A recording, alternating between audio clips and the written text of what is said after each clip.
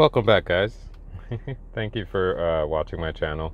I'm sitting here in my car and I notice uh, a lot of people don't know how to use 1 through 8 as to set their smart keys. Uh, they think you could only set a smart key for radio stations and a phone call.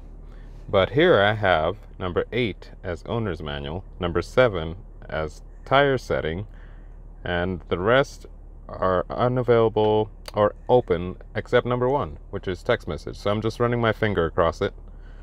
Um, but if I go on to, let's say I want to make number six, uh, let's make number six. What do I like that's fun?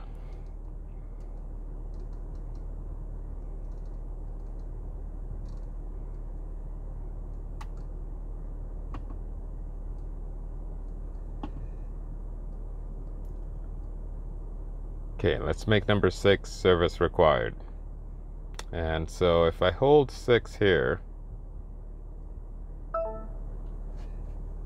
it recognizes it and it saves it once you press it and hold it when, when you're on the targeted topic. okay, so you saw that? So let's say I want a sport display for number three. Since I'm in sport display right now,